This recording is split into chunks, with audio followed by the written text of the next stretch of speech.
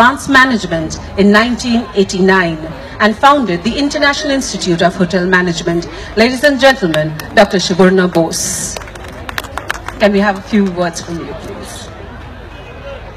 Thanks, the organizer. Been uh, absolutely delighted to receive this fantastic award, especially with all the luminaries and my seniors.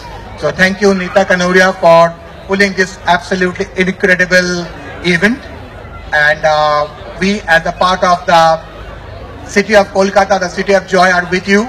So next year we'll all be trying to make it even even bigger. Thanks very much, and uh, thanks everybody, organizer. And just one last thing, I always my favorite line: education is the best investment anyone can do. So just go on and educating people. Thank you very much. Thank you so much and congratulations. Yes, education does give everyone.